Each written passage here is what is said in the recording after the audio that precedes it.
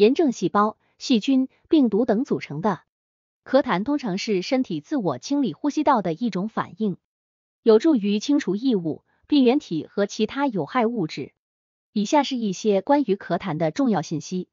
病因：咳痰可以是多种呼吸道问题的症状，如感冒、流感、支气管炎、肺炎、哮喘、慢性阻塞性肺病 的过敏性鼻炎等。痰液的颜色、粘稠度和气味可能与病因有关。例如，感染引起的痰液可能呈现黄绿色。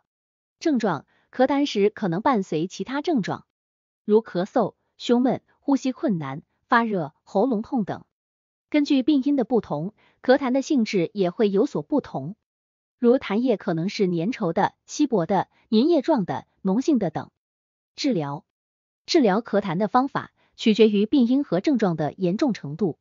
如果咳痰是由感冒等病毒感染引起的，通常需要休息，充足饮水，避免刺激性物质和保持室内湿度。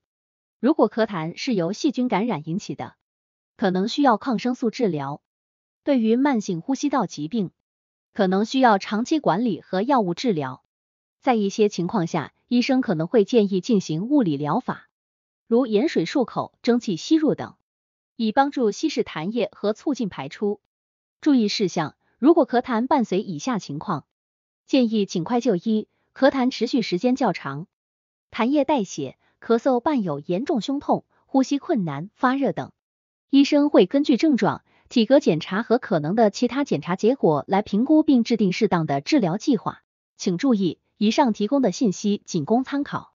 如果你有咳痰的问题或症状，请咨询医生进行进一步评估和建议。